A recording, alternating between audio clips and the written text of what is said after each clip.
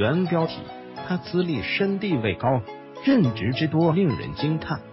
晚年抛开个人恩怨，盛赞毛主席大革命失败后的十年间，中国共产党在两条战线上进行的斗争。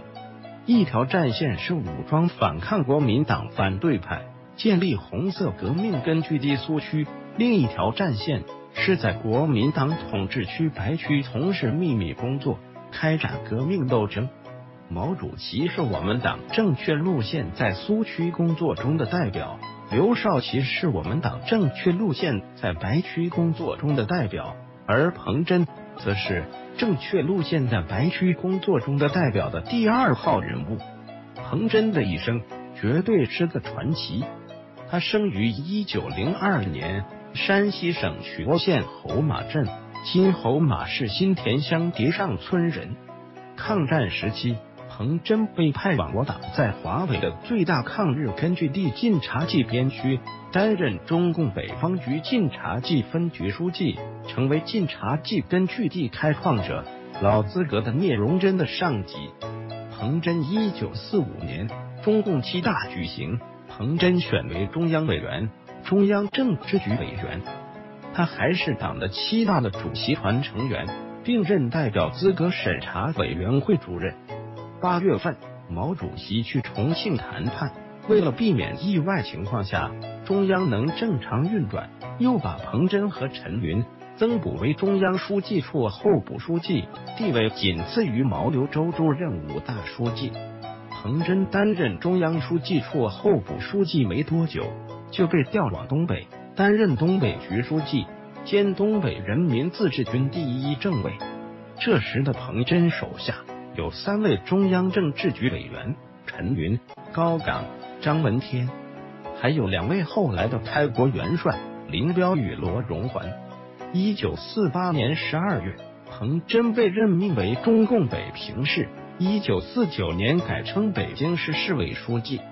此时的北平市委副书记是叶剑英，同时兼任北平市市长。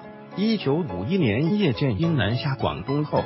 彭真兼任了北京市市长，从此他的北京市委书记兼北京市市长两要职一直干到了一九六六年。展开全文，此间彭真还同时担任着很多重要职务，仅副国级以上的职务就有：第一届全国人大常委会副委员长兼秘书长，全国政协第二届副主席。全国政协党组书记，八届中央政治局委员，中央书记处书记，全国政协第三届副主席，第二届全国人大常委会副委员长兼秘书长，第三届全国人大常委会副委员长。北京市一级的职务，彭真也兼任着很多，如北京市政协主席、北京市总工会主席。北京市人民政府财经委员会主任、北京市计划委员会主任。一九五五年八月，彭真与夫人张洁清在北戴河。一九六六年开始，彭真的人生跌入了低谷。这段历史大家都不陌生，在此不再赘述了。一九七九年，彭真复出后，在五届全国人大第二次会议上增选为副委员长。同年九月，当选为中共中央政治局委员。一九八零年一月，任中央政法委书记。一九八二年九月，在中共十二届一中全会上再次当选为中央政治局委员。一九八三年六月，彭真当选为六届全国人大常委会委员长。彭真复出的初期，有些人揣摩。他不可能不对毛主席有一肚子怨气。出人意料的是，他每谈及毛泽东，必先谈其功绩。他接受记者采访时说：“没有毛主席，我们不可能在一九四九年就建立中华人民共和国。毛泽东同志是我们的领袖，对毛泽东同志必须全面看。在我心目中，毛泽东同志永远是我们的主席。”彭真与毛主席在天安门城楼上，他还说：“五一六通知就是整我的，但我还是举了手的。我那时觉得主席还是对的。”后来我被关在监狱，反复想，我做得不错呀。我想，共产党毛主席总有一天会再来找我的。这些事历史上都有，错了的又给平反了吗？曾任彭真秘书的杨靖宇回忆，一九八零年初有一天谈起对毛泽东的个人崇拜，彭真说：“扪心自问，我不是一个盲目迷信的人，但我就是崇拜毛主席。